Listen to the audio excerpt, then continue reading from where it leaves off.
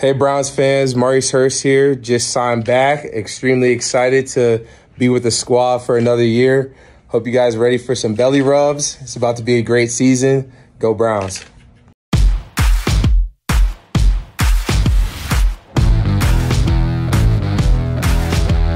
Welcome to the Dawgs Podcast with your hosts, Blake Renaker, Justin Charles, and Josh All. What's up, everybody? Welcome back to another episode of the Dawgs Podcast presented by Omaha Steaks. Josh All with you today, and I've got St. Patty's Day themed Kenny Mac Attack from Canada. Kenny, how you doing, man? Top of the morning, lads and lasses. Doing well. Can't wait for the day. All right, so show everybody the the shirt you got on because it's not just uh, a leprechaun, random leprechaun uh, St. Patty's Day shirt. It's uh, it's uh, our uh, Elfie Brownie the Elf, and he's all ready to go, just like myself. So thanks to GV Art for uh, making this bad boy, man. That is one of the coolest shirts, and it was funny because when Kenny sat down, I've got my Brownie the Elf podcaster shirt on today. And I, we didn't plan that or anything, but as soon as I saw him, I said, "Oh, I forgot to wear something green. at St. Patty's Day." But I'll let Kenny go ahead and take all the festivity and he can represent the Dawgs podcast on St. Patty's Day. That's right, man. Let's go. Let's go. So today, yes, we've got a very fun episode prepared for you guys. We each brought three NFL draft prospects who the Browns have already had some sort of meeting with. So these aren't just, you know, random draft prospects that we like that we want the Browns to draft. These are actually guys from the list of players the Browns have already met with in person. So that means there is a little extra added interest by the Browns for these players. Now, obviously, every year they don't just draft guys they meet with, they draft guys they scout, guys they evaluate, people that they may not expect to be available when they're on the board are available, so they take them. All that kind of stuff happens, but they definitely do every year select one or two guys that they've met with. So Kenny and I have each picked three from the list, and we're going to go back and forth and present them to you guys. So before we dive into these draft prospects, if you're on YouTube, guys, like and subscribe. We are getting closer and closer to 9,000 subs on YouTube, so help us get there. And if you're listening on audio, thank you very much. Apple Podcast specifically, scroll down to the bottom of our homepage on the app and leave us a five star written review. Those really help out the show. All right, Kenny, do you want to kick things off with your first guy? Yeah, I'll just say one thing about the picks that uh, they met with so far. I don't know if you noticed since I sent you the list. Um, it was high in offensive tackle. It was high in uh, receivers. It was high in um, running backs. And generally, that this draft is going to be really good for offensive players, uh, especially uh, the receiver position is the deepest. You're going to have a high end of uh, tackles and there's going to be uh, value uh, in the mid rounds for running back. There's a couple others like defensive end and some players, but that was the main um, uh, focus for the Browns. I saw with the players that they met so far, and then we all noted that they'll meet with players once they uh, get through all the different um, uh, player days at the pro days at the um, colleges, right? So I'll I will kick it off. Uh, my first guy. So this is a bit of a reach, but it's not a reach uh, negatively. It's going to have to be like a positive reach, or we're going to have to do something to get this guy. And my guy is Troy Franklin. Okay. And basically, I find him super intriguing. And uh, if you guys noticed the last time that Josh and I met, I like to look at bigger, faster, stronger. Okay. And um, with this guy, he's intriguing because, man, he's definitely bigger. So he's a taller dude. And uh, he's definitely faster. He's got the 4.4 speed, but stronger. We'll we'll get into that. And um, as far as his last season, I mean, this is fantastic. Imagine if a guy was lining up for the Cleveland Browns, and at the end of the season, the guy had 81 receptions for 1,383 yards, and he had 14 touchdowns. That would be fantastic. And that's how his 2023 season ended.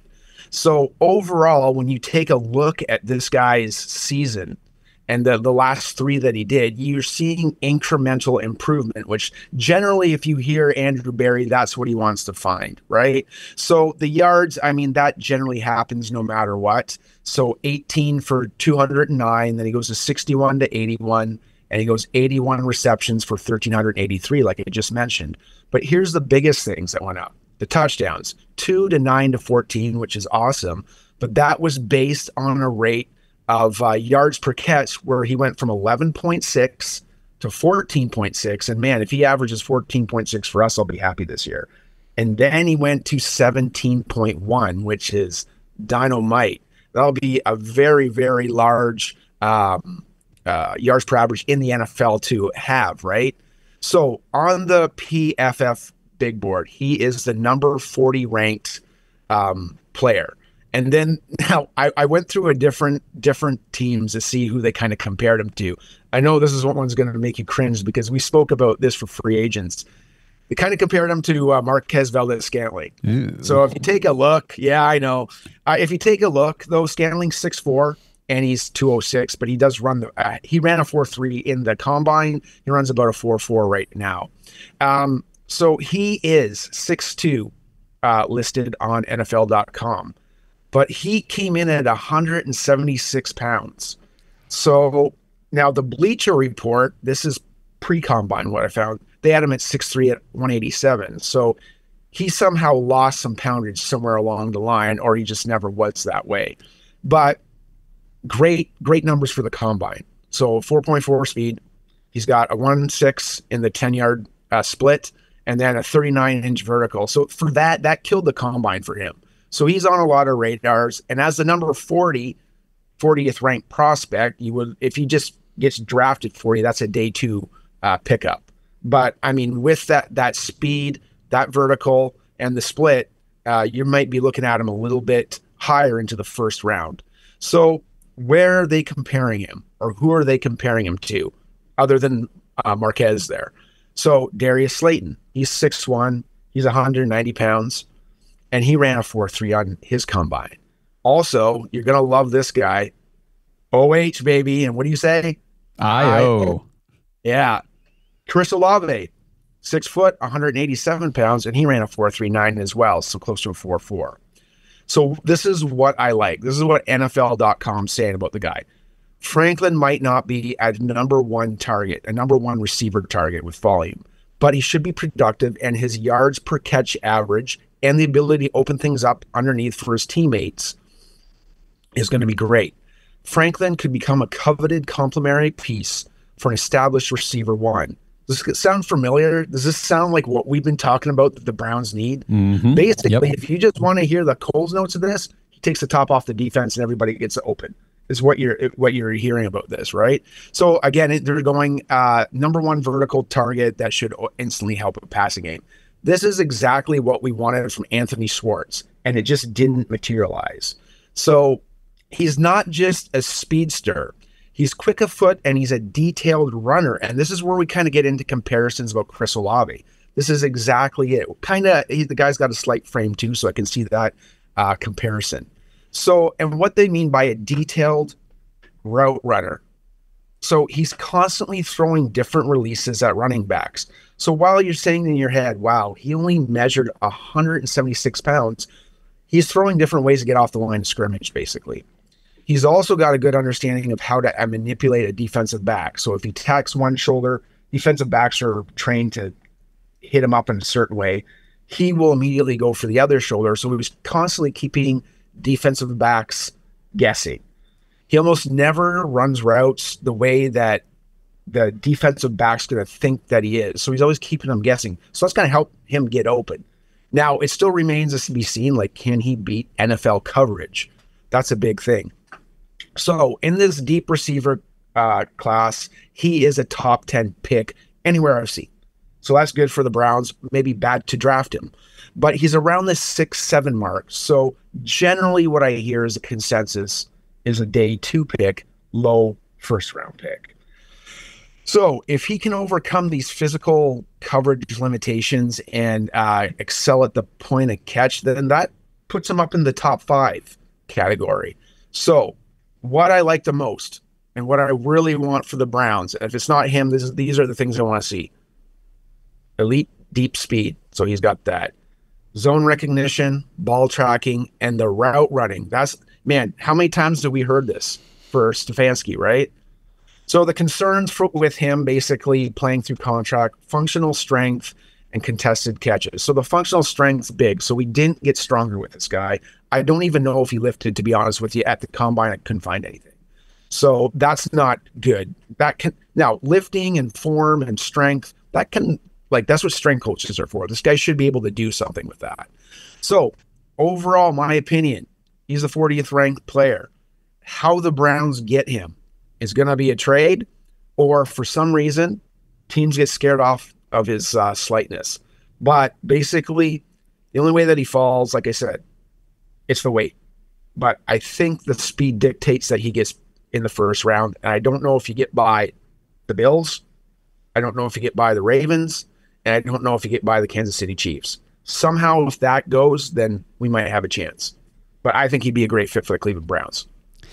I agree. I like Troy Franklin a lot. I know a lot of NFL draft uh, scouts are really, really high on him. They've risen on him. I think his pro day or his uh, combine had some mixed results. Some of the drills he ran left a little bit to be desired, but you know, one of the stats, and I, I've been posting this on Twitter over the weekend that I really look at for these wide receivers is yards per route run. That just kind of shows because targets targets are an earned stat. If you're a good route runner, if you're good at getting open, if you're a good wide receiver, your target share usually indicates that. But then what are your yards per the routes you are running? And you like to see receivers kind of in that top 15% of the nation in that stat. I mean, top 25% is pretty good. Troy Franklin was easily in the top, I want to say 3%. He was sixth overall in the country at 3.32 yards per out run. So the dude is very, very good at getting open, creating some separation. And I know you mentioned like MVS and some of these names that are a little the the comps are a little worrisome, but one that I've heard more recently that I like better is DeVonta Smith for the Eagles. You know, he came in, I think he was like six foot, 175, so just a little bit shorter than what Troy Franklin is, but same kind of situation. A slender guy, everybody was concerned can the weight hold up?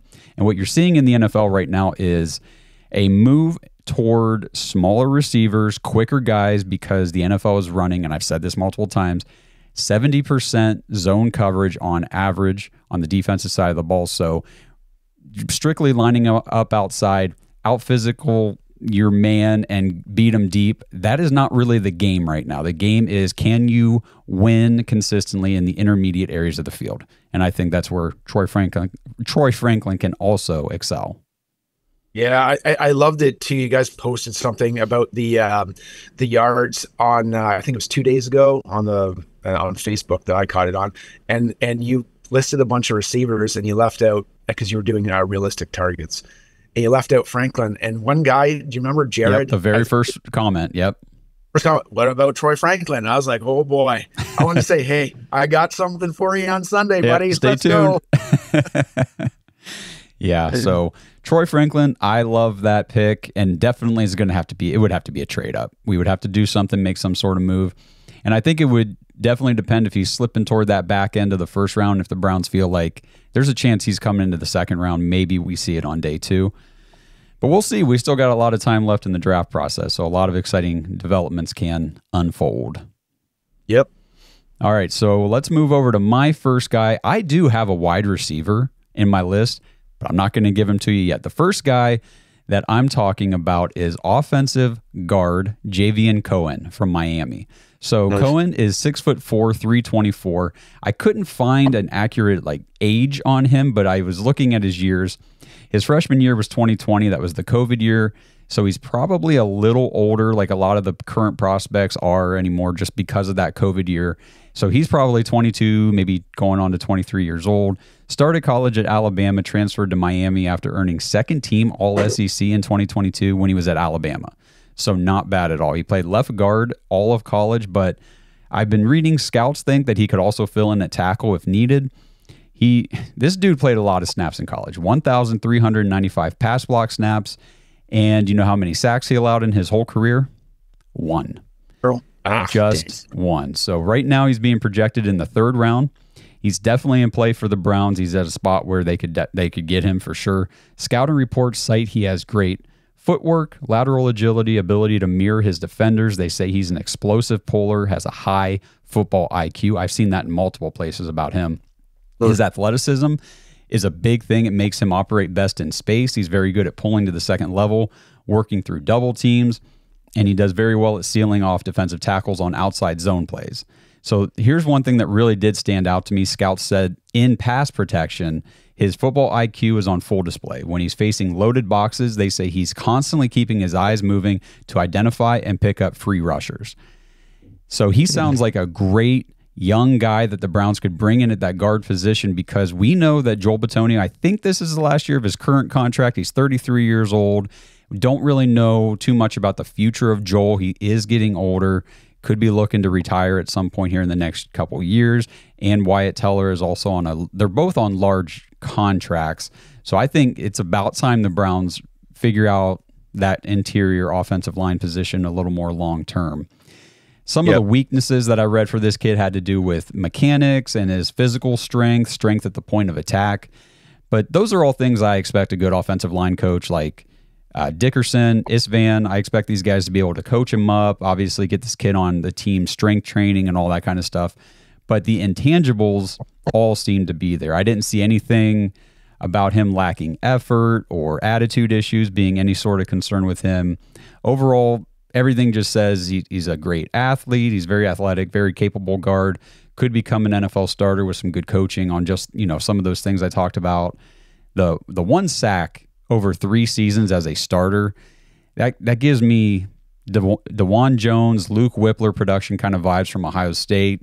They went their whole careers. I don't think they gave up any sacks between the two of them. And I read an interview actually from Javion Cohen, and this is from the Senior Bowl. He said, quote, I'm a plug and play type of talent. I can start right away. I can play in any scheme. I'm one of those guys that you can depend on to get the job done, rain or sunshine. I'm always reading opposing defenses. I have a positive attitude about the workday. I'm excited for anything and everything that comes my way, and I'm very coachable. So of course, you know, you kind of take those responses with a grain of salt, knowing these guys they're all trying to improve their draft stock, so they're going to try to say the right things. But I like the high energy that he brought. I like the awareness that everybody was talking about with him. You know, he mentioned that he's a dependable guy. That's supported by his stats and what all the scouts are saying about him. And hmm. when I you know, if you look at his NFL draft profile rankings, production score was 10th overall among guards in this class. Athleticism score was 8th overall. And I just nice. think Javion Cohen would be a great addition to the Cleveland Browns offensive line of the future. Yeah, I'm glad you brought him up because I mean we all do our mock simulators and we we post them. I keep mine just to kind of see like who keeps coming in the same uh, area. And I got one question for you: Where is he expected to go draft wise? Do you know, or do they kind of divulge anything? Because some guys it was easy to find where they went draft wise. Other guys you really had to like pry it out or you couldn't find it. I've been seeing third, fourth round for him. Okay. Yep. So the and the, the reason why I'm asking because I constantly see him coming in the sixth round in the simulator. Oh. And no wonder I'm getting like B's and A's on this because this been a fantastic pick, right? But I have noticed that he always seems available around a pick. And I keep meaning to go, hey, I got to check this dude out, you know? And I've seen him linked many times uh, to the Browns. So let's see what happens. Yeah. And I know maybe you're watching this, listening to this episode saying, well, I mean, if he's a fourth round pick, can he really be that great? Well, I Wyatt Teller, I believe, was a fifth round pick, correct? Yeah. So yeah. you you can find very good starting players all throughout the draft, and I do trust Andrew Berry to find that sort of talent because that's what he's shown over the years. Now, is every pick a home run, slam dunk hit? Of course not. But every pick, for the most part, contributes to the team in some way, shape, or fashion, whether it's developing into a starter, a solid contributing role player, a good depth piece. And I, I saw somebody post something on Twitter about Andrew Berry. You know, his draft from 2020 isn't very good because only like one of one or two of the guys is still on the team. And I said, yeah, but they all played out their rookie contracts here. How many well, how many draft picks don't even make it into year two or you know, let alone year three with their the team that drafted them? The percentage yeah, has to be pretty damn high. pretty standard for most teams, though. If you go four years back, who's still really on the team? Nobody. Exactly. The so, other thing that I'd want to touch on, and basically what you're saying is finding these gems or like these mid rounders. Really, the league, I think they what what's what do they say about the league? It's made up of 20, 30 percent uh, undrafted free agents. Got to turn over every stone, right? Mm-hmm. Yes, you do. And I mean, Dawand Jones was a later pick last year, so yep. These guy, kind of guys are available, and these are the kind of names you have to be looking at with the Browns, especially because you know we're not going to get one of the top tackles or guards or anything in the first or second round. I mean, I guess they could take one in the second round, but there's just there, there's guys all throughout the draft, and it's fun looking through the names. And the Browns made it a point to meet with Javion Cohen. This episode is brought to you by Omaha Steaks. Browns fans, Easter is almost here. And what's everybody going to do for Easter? We're all getting together with family and friends, and we're going to have a great meal together. So why not make that great meal the best meal you can get with Omaha Steaks? They are doing their 50% off site wide sale right now still. And if you go to omahasteaks.com slash dawgs, use promo code dawgs, D-A-W-G-S when you check out, you'll get 30 extra dollars off your order. That's a great deal with the price of meat and food and everything so high right now. It's ridiculous. Get over there, get great food for great prices. And what I would suggest for Easter, go over to the menu, scroll down to other meats, go to the hams. And when you get in there, scroll down. I don't know why they have this stuff at the bottom of the page. Easter packages right here. Build your own custom Easter dinner for four, build your own custom Easter dinner for eight, create your own Easter dinner in general. Get everything you need the ham, the, the sides, everything that you need for a great Easter meal is right here at Omaha Steaks. And with that code DAWGS, you get $30 off your order. So go order everything for Easter right now. That way you're ready to go, you're prepared, and you don't have to worry about it. Enjoy Easter with your family. Take the stress out of figuring out what you're going to do. Get the food ready to go now. omahasteaks.com slash dawgs. Promo code DAWGS. Get $30 off your order. Minimum order may apply. Like getting into like, you know, um, undrafted free agents, I, I don't know where my next guy is going to fall but it's kind of like um, eh, we were just talking about Dawand Jones. Dawand Jones, we had to draft him. He just has freakish, um, uh, like size and freakish strength, and you can't pass up on that. And so one thing that I've learned in listening to Daniel Jeremiah goes, you never pass up on that stuff. And what I've found is the Ravens, they're they've always picked like the biggest, strongest dudes. And so my next guy is Aidan Robbins. And uh, he's a running back. And part of the reason actually I picked him is because I thought you were going to pick Audric. And uh, Audric, the, he he because you guys posted him, I thought, oh, Josh gonna pick this guy, so it's almost gonna be like a comparison. And so that dude, he's like five eleven, he's uh, two hundred twenty one pounds, he runs a four seven. But the guy I picked, I mean, when you put his picture out, dude, I thought he looked like Myles Garrett. I think you guys even said, man, he looks like Myles Garrett uh, in that post. Um, yep. But man, the metrics on this guy, if you guys take a look at this dude, uh, 240 pounds, man. Boom. I can just hear that guy hitting other dudes on the field right now. And he's got a six foot frame. So, I mean, uh, originally I was going to say he's Audric Light, but he's not because he's heavier. you know what I mean? So that is a bad comparison, but uh, I still want to keep going with this this guy. So he was like a double transfer. So he started at UNLV, or sorry, started at Louisville and then he went to UNLV and then ended his uh, last year at BYU. So, uh, and I I was at a UNLV game, and we were watching the running backs. They had some really good receivers, and I remember talking to dude, and he said, "Oh, you had to see the running back last year." And then as I'm going through the list, I'm running, I'm running through all the guys. I'm like, "Oh, this must be the dude. This must be the guy he was talking about. Just a guy that was knocking heads on the field." So what happened though is when he was at BYU, though, he was uh, plagued with wrist and rib injuries. So he wasn't as productive as he could have been. Uh, so he finished with 485 yards, 4.8 yards in attempt. Um, but here's the biggest thing. Uh, he got into his last three games, and kind of like when we were talking about Aaron Jones for the Packers last year, he averaged 100 yards per game at 6.5 yards a clip, which is amazing. The other thing is he had a super valiant Oklahoma. So uh, against Oklahoma, he had a 182 yard effort. So finally, he was, you know, feeling good. He got all the plays that he needed to be, and he was, I guess, he got his football strength and football stamina under him. So he looks really good. Now this this uh, BYU team they put out other guys in the last like five years. They put out Tyler Allgeier and they put out uh, Chris Brooks from my uh, from the Dolphins. So they're both slightly smaller and they have slightly slower 40 times. So if you're bigger and got a better 40 time, I think you should be looking at this guy. And everywhere that I've looked, this guy is considered a draft diamond. So this is who that's all met with a guy. The Bears, the Packers, the Colts, Jaguars, the Bills, the Chiefs, the Raiders, Saints, 49ers, Browns in New York. Wow. So his his breakout season though was with the running rebels that this guy was telling me. So in 11 seasons, he had 109 yards. He had 9 yards touchdown, 9 yards rushing and 1 yard receiving. So now you got to ask yourself, why did this guy always transfer? Because that's got to be a red flag to some people. To be honest with you, he wanted to play against better competition. Mm. For the first time ever in BYU history, they played 10 Power 5 schools.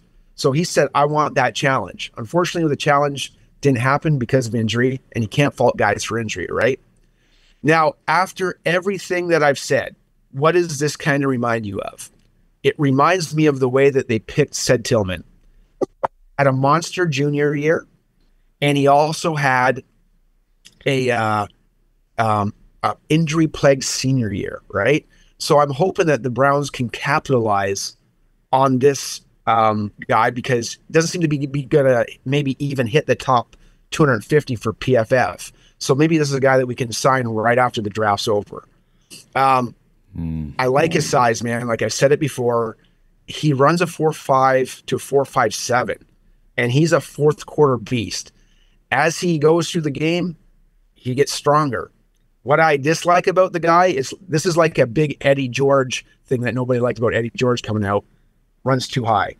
But what I've seen in his like watching his actual uh, footage is his actually first hit is low. He breaks through the line of scrimmage, then he starts to be a long strider and runs high.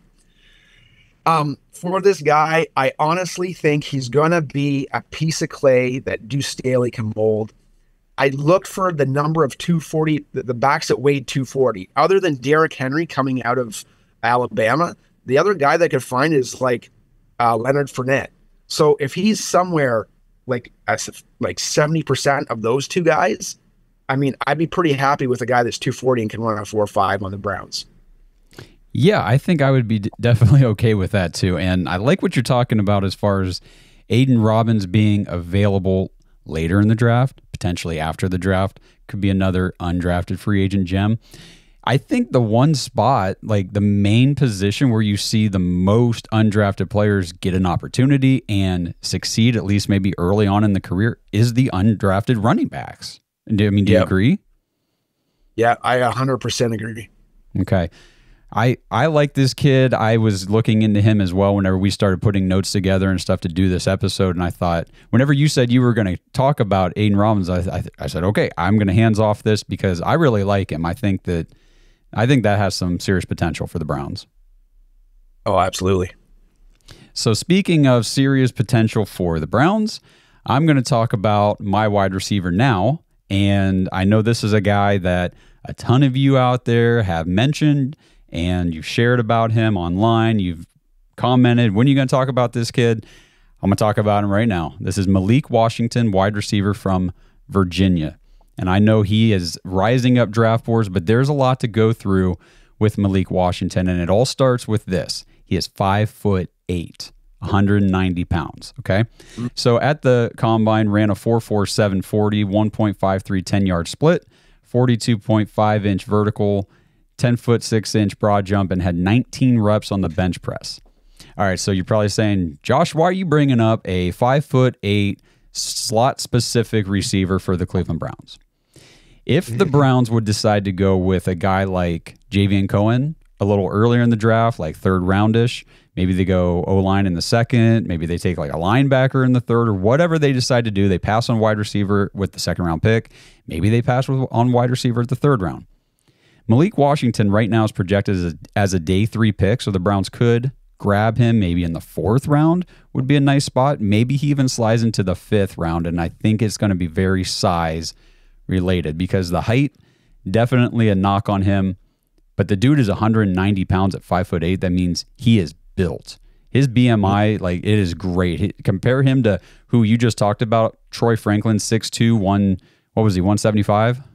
176, yeah. 176, tall, slender. This guy is short and stocky. He is very built. But according to everything that I'm reading, his size complements his mental and physical toughness and his football mechanics on the field. He has hmm. excellent ability to create separation, quick changes of direction, very tough to cover.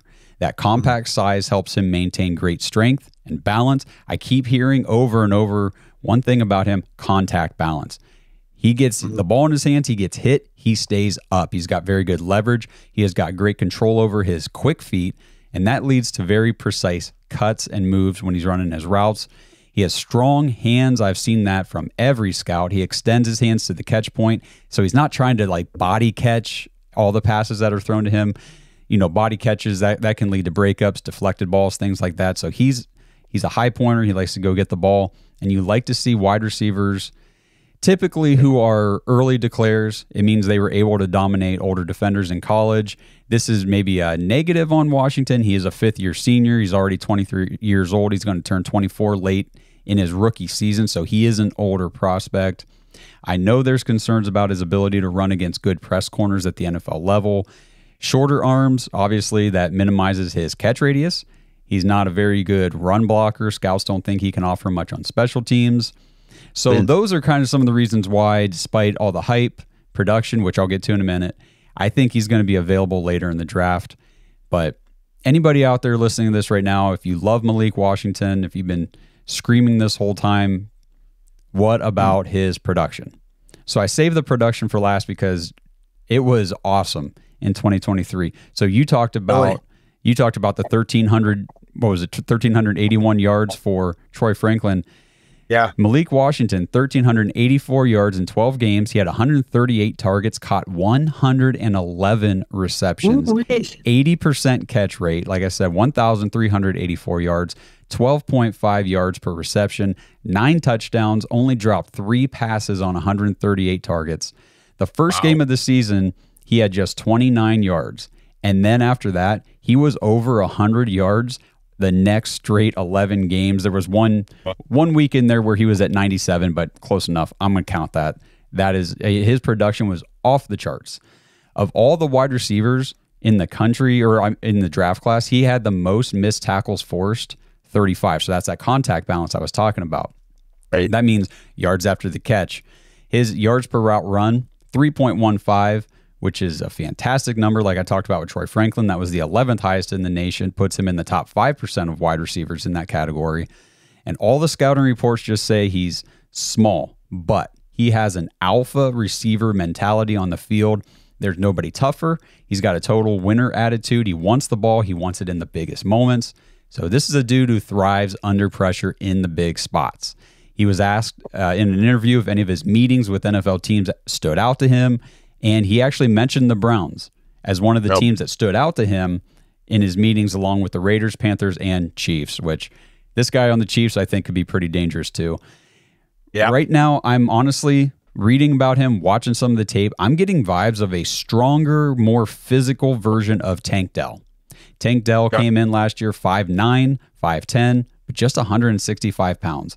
He came in at 23, turned 24 during the season, same type of thing. And I think that Malik Washington has all the mechanical, all the mental tools to be a stud at the NFL level. I know we like the bigger bodied receivers, the guys like, or, or some, you know, these other receivers, Justin Jefferson, Ja'Marr Chase, of course, these guys can dominate on the outside and inside. But like I said, the NFL is playing 70% zone coverage on average is becoming more and more important. You got to have these receivers who can consistently win and dominate the intermediate areas of the field. You got to be able to make guys miss after you get the ball in your hands, gain yards after the catch, and that's what Malik Washington does. Man, man, that sounds amazing. And I know this guy's been a bone of contention in the Discord. As it not, I think this is a Gage wants us to get this guy. I'm gonna I'm gonna do the soundbite right now. Hot dang. That was that is unreal what you just said. And uh, you know what? I get the Tank Dell comparison. You know what I hear? Steve Smith. Mm, Steve okay, Smith yeah. Here. Especially with the nastiness attitude. Like I kept hearing you say, I, and every time I hear you talk about him, like, man, he's smaller. The only thing that he doesn't have that Steve Smith does, I believe Steve Smith actually made the Carolina Panthers because he was a special teams ace as well. Oh, so he could okay. ball. So if this guy can't, whatever, I mean, if he can somehow figure to get open and beat press coverage in the NFL, sounds like he can find some seams and he can go, man. So that sounds amazing to me. Yeah, and you know, I'm just looking ahead at the Browns and what could potentially develop throughout this season and into next season. Not trying to look too far ahead, but we always have to have a mind toward the future. You know, the Browns have Jerry Jeudy now and Elijah Moore both on the end of their last year of their deal. So, are we going to be re-signing both of those guys? Are they both going to produce at a level where we want to bring them back? I'm hopeful for Jerry Jeudy, Elijah Moore. I like the player, but I think that a guy like Malik Washington could come in and immediately be the same type of role on the field that we want Elijah Moore to do. But I think that with you know, obviously we would get him on his rookie deal, so we'd have four years of him cheap. And I really do th- this guy's mentality. And I was watching highlights of him and watching through some plays and some games. He man, the route running is on point, and what he does with his feet to throw off the defenders, he gets open as soon as he gets that ball in his hands. Like I've seen a couple plays where he gets smacked and stays on his feet, and then he turns on the jets. He might not have top end speed like some of these other prospects. But again, Right. you're not asking him to line up outside and go, you know, a nine route and beat anybody. Get the ball in this kid's hands, let him break a tackle, and then he can go. And I was I got very excited watching watching highlights of Malik Washington. Yeah, no, no doubt, man. It sounds amazing. And hey, if the guy's like a little bowling ball, like let's let's do it. You Yeah, know, let's go. This episode is brought to you by Danger Coffee. Browns fans, we talk about how Danger Coffee is made free from mold toxins that are in 45% of the world's coffee, but that's not all that Danger Coffee has to offer. Mineral and nutrient deficiencies are a big deal. They make you feel sick, tired, stressed, and they can give you brain fog. These deficiencies negatively affect your immune system, your digestion, sleep, metabolism. Have you ever wondered why you get an initial burst from your coffee? But then you get that little crash not long after. Danger Coffee's patent pending process remineralizes your body with more than 50 trace minerals and electrolytes, leaving you more energized, engaged, powerful. These micronutrients enter the cells to boost performance. They bind to toxins to provide detoxification support. I know that sounds like a lot, but the bottom line, guys, is minerals matter. And most of us really don't get enough of them on a daily basis. Danger Coffee delivers micronutrients, plus, it gives you access to the minerals you already have. Head to dangercoffee.com, use our code DAWGS, D A W G S, for 10% off your order. And that code can be used over and over. So you get 10% off every order you make using code DAWGS. It's time to start every day off with a cup of coffee that gets you going and actually keeps you going. Dangercoffee.com, code DAWGS. All right, I'll get my last guy, and I'll tell you one thing. My so my last pick is a homer pick. Okay, this guy is from the home and native land. It's offensive lineman uh, Gabe Wallace. So, first of all, just from the name, if I go Gabe Wallace, sounds like he plays for on an offensive line, doesn't he? That sounds like an offensive lineman's name. Sure does. Uh, he's uh, he's like the former uh, game day host uh, Nate Burleson. They're both from BC, so that's Canada, and uh, he's um, a, a homer pick for me. And if if you could just pick an offensive lineman based on size, I, I got these numbers. Uh, the CFL had their combine, so I had to get most of my stuff uh, from him from there. But he's a mammoth. So this guy's 6'6", 340 pounds. Hmm, Holy okay. crap. That's a big dude. So you compare him, and I will uh, in a little bit. Now, the speed, though, I had a hard time finding. So in one of his profiles, and I can't remember what the draft uh, thing was, but he was anywhere between a 517 and a 538. So I don't know if I misunderstood that because he ran a 57 at the combine. So not quite as fast. However, when you're looking at offensive linemen, the 10 yard split is very important. He won he did a 188, which is respectable in the uh in the offensive lineman world. To, to compare the the big kid out of Georgia, he did a 178, right? And he's a he's a top 5 uh, draft pick or top 10. So he's very, very versatile. And I expect for him to either go sixth, seventh round, or maybe even another undrafted free agent. And um, he played every position except for center. He oh. played on one of the better uh, lines in the MAC conference. And we know the MAC, like it's not Big Ten, it's not the SEC, but they constantly churn out players. I mean, Roethlisberger played there. We had um, uh, Alex, not Alex Mack, um, uh, Khalil Mack uh, come out of there as well. But the big thing about O line, and you you said this uh, when you were talking about O line, it, it, and it's any any guys really in the NFL in the uh, NCAA. It's games started. Listen to this: his graduate year played 12 games, so five games as a left guard, and then he moved and finished for the remainder of the season at left tackle. Uh, he made the All MAC third team, and uh, which allowed for the fewest sacks in the MAC. Senior, uh, 13 games, all at left guard, made the All MAC third team again.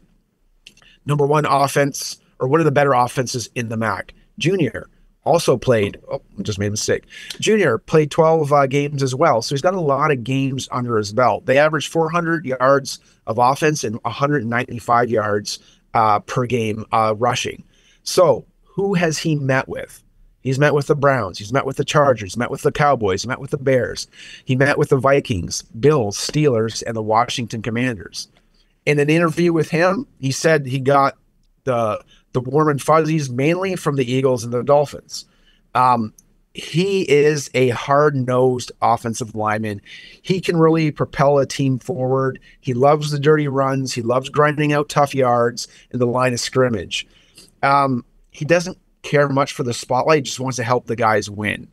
So it's kind of funny though. If you ask him what he's best at, he says he wants to play guard. If you ask NFL scouts, they want him to play uh, tackle, mm. right? So where are we here, here now? So improvement. So his knees a little bit better pass pro, uh, uh, pro technique, which maybe anyone could use in the draft. Uh, could be seen as a more of a blind side protector. So they're looking at uh, left guard or left tackle, and he would based on his size, right? Right needs to be a little bit more consistent and uh, doesn't uh, hit with the second hit they usually say. So he gets he's pretty good with the first hit of contact, but the second he doesn't get to.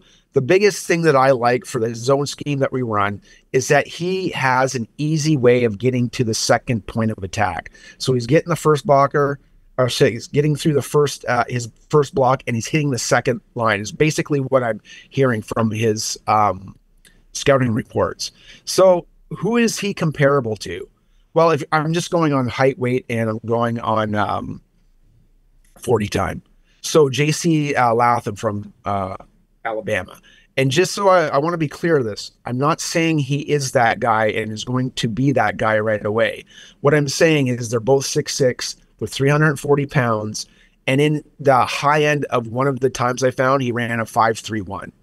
And that's what I'm saying. So if if our new offensive lineman can mold him and we can get anywhere close to what JC can do, I think that's a win-win. So he's bigger, he's stronger, and uh, faster. We'll see what happens. But I will say that he is faster just because he can get through that second wave of uh, attacking uh, defend- defenders.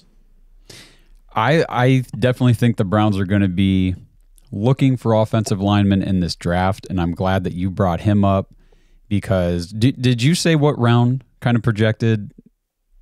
I would say six, seven, or okay. undrafted. So these later round guys, potentially undrafted guys that the Browns could end up with.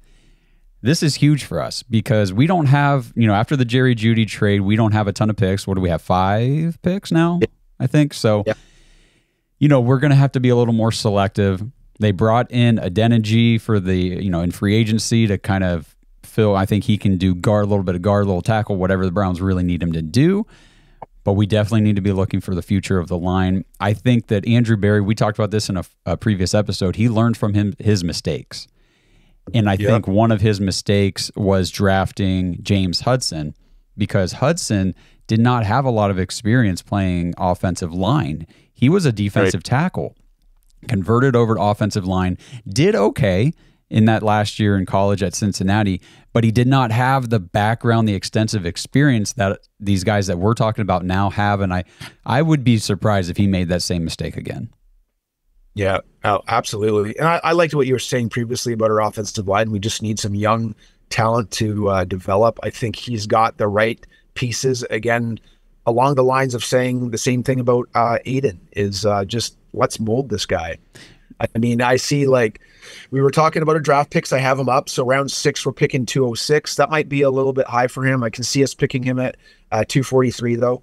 Okay. And uh, uh, signing him as a rookie free agent, uh, would never know. But I mean, I think it gives us some versatility because he's played all the um, offensive line positions other than center, you know? And we know how much the Browns value versatility, that flexibility to be able to put guys in different spots, especially later in the draft. We're not we're not going to be drafting or potentially signing an undrafted free agent in Gabe Wallace saying, "We think that you, you know, we want you to be our starter." That's not the idea, yep. guys. The idea is to get good quality solid depth on the offensive line because we don't we have some depth, but we don't have a ton of it right now and we need to start building that a little better and this could be one of those pieces for sure.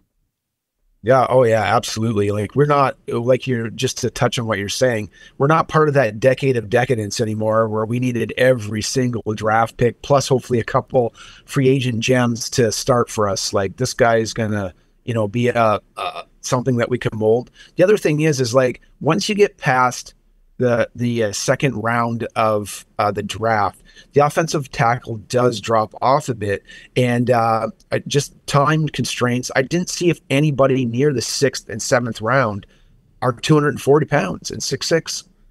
You know, that's uh, that's stuff that you want to bank on because you can't teach that size and and uh, weight. No, I mean, and strength matters because these pass rushers on the defenses right now, these guys are just monsters, just freaks of nature. And that's why yep. Dawand Jones was such a great pick because he had that basketball background.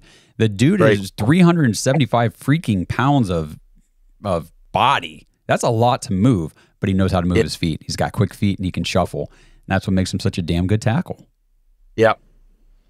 All right, so I'll wrap things up here with my third guy, my final my final player for the Browns. And, you know, Kenny did the Troy Franklin. We might have to reach a little bit, maybe trade up to get him. This is my pick that's similar to that. And this is a guy that I wasn't necessarily like the highest on at the beginning of this whole process, you know, a month or so ago. But as things have unfolded, the combine, reading more about him, and it's the funny thing is this is a position I don't really even like for the Browns to draft anywhere mm-hmm. high, but I think this kid's an exception, and it's Braden Fiske, defensive tackle out of Florida State. He is six foot four, 292 pounds, a little bit on the lighter side, but he has a high, high motor, good run defender, good pass rusher. So to find a defensive tackle who can be very, very good at both of those things, it's not easy to do. And if the Browns can find an offensive lineman like Javion Cohen in the third. Maybe they grab Malik Washington later in the fourth or so. Braden Fiske is on the board at the second round or anywhere close to where they're picking in the second round. They can move up a little bit to get him, kind of like they did with JOK. I think you go get him. This dude knows how to use his explosive first step to push back blockers, establish the line of scrimmage. He's got great power, great strength in his hands. He uses that for effective rip club moves. Um, he I've been all the scout. He's he's an excellent gap penetrator. He gets upfield and he disrupts the backfield. Again, he uses great hand power, moves to rush the quarterback.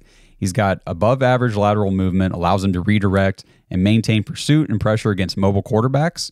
Very important because we've got Lamar Jackson in the division. Now we've got Russell Wilson and Justin Fields, and Joe Burrow yeah. can move too whenever he needs to. So a guy like Braden Fiske who can quickly redirect, maintain pursuit, and track down these mobile quarterbacks, that's going to be mm-hmm. key. It really is.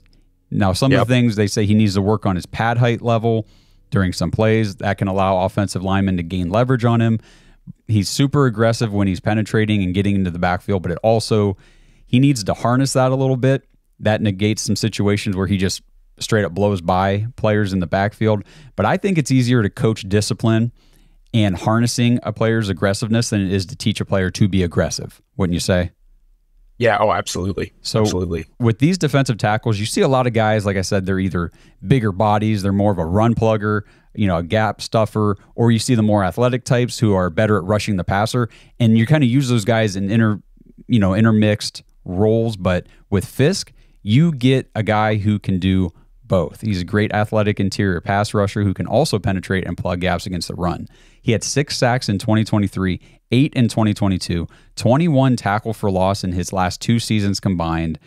With how the Browns are approaching the defensive tackle position, right now they've got a cemented starter with Dalvin Tomlinson, and he's in just the second year of his four year contract with the Browns. And then they're rotating these one year deal contract guys alongside of him. And I think Fiske would be the perfect fit to start off in that rotational kind of situational role as he's learning and getting up to speed. He can rotate with Mo Hurst, Shelby Harris, Quinton Jefferson. I I hate projecting cap stuff too far ahead, but if you get a guy like Braden Fiske and he proves that he can be an every down type of player, there is cap relief to be recouped down the road if the Browns would decide to move on from Dalvin Tomlinson later, you know, in his age 32 season or whenever, not this year, obviously, maybe not next year, but eventually. And then you're just hoping, as a side note, Siaki Ika can develop into the role that, you know, we're bringing in Jefferson and Harris to play. So if you've watched this show for any length of time, you know I'm very hesitant on drafting defensive tackles. It's a very tough position to evaluate. It's a tough position to transition from college to pro. In college, you know, sometimes you're facing a team that doesn't have any of their offensive linemen who are going to go pro. And sometimes you go up against maybe one or two pro potential offensive linemen. But in the NFL, you are facing all guys who are pro level talent. And that's where players at the defensive tackle position struggle because you can't just very easily do what you did well in college and just have the same success. So there's definitely a learning curve. But Braden Fiske seems like the kind of player, his demeanor, his mental makeup, his attitude, his aggressiveness, speed, athleticism, strength, those things could all combine to make him a very, very good defender at the NFL level. Yeah, when I hear you talk about him, I hear Jim Schwartz just go like I can hear him pumpernickel. He's just like, mm-hmm. yes, yep. He's the other thing that I kind of hear is ultimately when we were speaking about Perrion Winfrey before we drafted him, and minus the attitude issues, it was a lot of the same thing. And uh, a slighter player that could pass rush that played the defensive uh, tackle position. So I would really like that to recoup that loss that we unfortunately had to cut him and um, uh, have that guy in, in our back pocket for these, um, uh, what do they call them? The Jaguar packages uh, where we have like guys that can rush the passer on third down. Like I think that would be an awesome mm-hmm. fit. And then, like you said, let's see if he can progress and get a, a full time starter. Yeah, definitely. And honestly, this just everything I've read about him, watched and, and listened to scouts and all that stuff, he just feels to me like the type of player who can come in. It might start off a little slow, you know, his rookie season as things go, but by the end of the season, might be in a 75% roll, you know, snap count roll on the on the defensive side of the ball because I, I think he's I think he's going to be very good. I just I get good vibes from him. There's not a lot of defensive tackles that I research and look into and scout that I come away saying, "Oh yeah, I can see the path for this guy to be a Pro Bowl level talent." But this guy, I think this guy's got Pro Bowl level talent built in. I really do. Does, does he like there was a guy Carlton Fisk? Is that is that are they related in some way? Does he have any NFL pedigree? I'm not sure. I'll, i can look that up real quick. Yeah, because like I mean, if everybody wants to know, I pulled up last year's uh, list of who we met at the combine, and the guys that doubled up are here. So we doubled up post and after their pro days. Uh, so Dawand Jones, we drafted him. Dorian Thompson, we drafted him, and then uh, we also did oh Tank Dell. And Tank Dell's a guy that we didn't get. And I like the I like the mm. pick of uh, Malik Washington, man. That sounds like something like boy oh boy, like that. We didn't get him last uh, Tank Dell last year, but we could get a player like that this year. That one I think sticks out to me the most uh, from your three guys.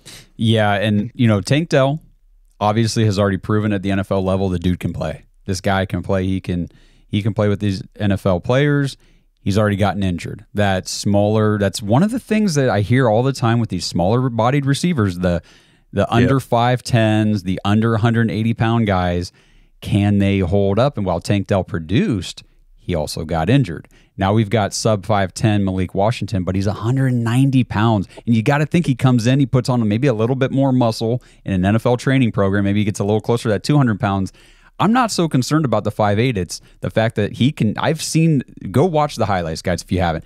He takes hits, and he, if he if he gets tackled and taken down like on a hard hit, bounces right back up. Number one, number two, he gets smashed a lot by guys and stays on his freaking feet and keeps going. It is pretty cool to watch him play. You know what? Based on what you're saying, we're going to call half the nickname him Tank.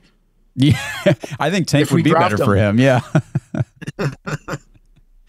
but and no, Carlton Fisk and Braden Fiske are not related. Their last last names are not spelled the same. So. Oh, gotcha. Okay. ah, yeah. I was wondering. I, I threw that was kind of like a, a, shot in the dark. Braden Fiske has an E at the end of his Fisk. Oh, okay. Gotcha. Yeah, gotcha. It, it stands for elite level potential in my gotcha. yes. yeah, man. so drop in the comments, you guys watching. If you're listening, I think on Spotify you can comment. So and and we see those when you do. So drop us some comments. What do you guys think of these prospects the Browns have met with? Are there anybody any other prospects that were on the list of of guys that the mm-hmm. Browns had meetings with, whether it was at the Senior Bowl, the East West Shrine game, the Combine, or you know, just even a digital virtual interview, whatever it was, who you think would be a great fit for the Browns, a realistic get, and where they could possibly get them. So we really, we really appreciate everybody watching and following and engaging with the show. And I think before we wrap things up, Kenny, this is the first time I've had you on the podcast since your big news with the Browns backers. So do you just want to just yeah. tell every, take a minute, tell everybody what's going on? Yeah, so basically, with the uh, Cleveland Browns, what it is is you have Browns backers worldwide, and that is the organized uh, fan club that the Browns support. So that club is supported by chapters throughout the world. I have the Ottawa Browns backers chapter up here in Ottawa, Canada, and I oversee that one. Now, while we have all the chapters, there's a group of 10 people that oversee all the chapters and help uh, be like a liaison between the chapters and the Cleveland Browns. And I am on that President's Leadership Council, and I was able to get a nomination for the vice president of that council. So I will be the vice president this year, and I will be the president going into 2025. So I'm super stoked to help anybody who's a president or any Browns backer out there. You can always uh, reach out however you want, OttawaBrownsBackers.com. I'm here to listen to you and uh, make every season as a fan fun. Uh, and no, I don't have any say in who the Browns draft or free agency or or any insider information at all. Period. no, but you are doing what what our podcast is geared to do from the very beginning, which is just bringing Browns fans together from all over the place. We have our own. You, you go to jointhedawgs.com Kenny's in there. We that's how we got to know you so well in the first place. Is in our yep. Patreon group. Join the Discord. That thing is a 24 7 conversation place. It is so cool. And I'll just kind of throw this out there right now on this episode. We are having conversations about test running beta, you know, beta testing a Discord dog pack chat live on YouTube next. I guess it would be this coming Saturday evening, maybe for an hour or so, where the Discord guys are going to get in there. It, we're going to have it run and hosted by Devonte Travis, and yep. we'll just kind of see how it goes. If if there's good interaction and people enjoy it, we'll we'll try to do maybe two or one or two of these a month, maybe, and see how it goes. But there's just all kinds of great things going on with Browns fans. What you got going on is awesome, and we're really happy for you. Congratulations, and yeah, definitely reach out to Kenny if you've got any questions or anything he is an awesome dude to get to know and, and to talk to. Yeah, yeah. Hit me up on Facebook. It's Ottawa Browns Backers. If you Google that, it's super easy to find. You can hit me up on Twitter and all the other uh, socials that are out there. That's awesome. Kenny, I really appreciate everything you put together for the show today. This was actually Kenny's idea, by the way, guys, to, to do a show where we talk about prospects the Browns have met with. And I thought it was an excellent idea because it gives you a good insight into guys they're a little more interested in than just you know, the average prospect who they have not met with. I thought it was awesome, Kenny. I I love you, appreciate you, and anything else you want to say before we wrap it up? No, man. Let's enjoy our St. Patrick's Day. Have one for the Browns. Let's go, Brownies. That's right. All right. So happy St. Patty's Day, everybody. And until we come back to you guys, we got a live show on Tuesday this week, I believe, with Blake and Justin. And actually, Kenny's going to be, you're going to still be in studio for the draft, right? Day two, draft night? Yeah. Live coverage. Yeah, I'm, I'm hoping to hit up the draft on uh, round one, hang out with some uh, Browns backers. So I will be down there. So come and say hi. Gonna head on down to Dover for day two, and then back to the draft in Detroit on day three. That's crazy. So you got a lot of travel coming your way, but it's going to be a ton of fun. We've got a little over a month until the draft, so I'm sure we'll have Kenny on an episode before then. But I just want to mention that we've got stuff coming up. So just YouTube, like, subscribe, tap that notification bell so you don't miss any of the updates that we got coming out. You don't want to miss the stuff we're doing. So until I talk to you guys again on Tuesday night, let's go Browns. Let's go Brownies. Thanks for listening to another episode of the Dawgs Podcast. Make sure you subscribe on YouTube and follow us on Twitter at the Dawgs Podcast. Get your thoughts on the show at thedawgspodcast.com.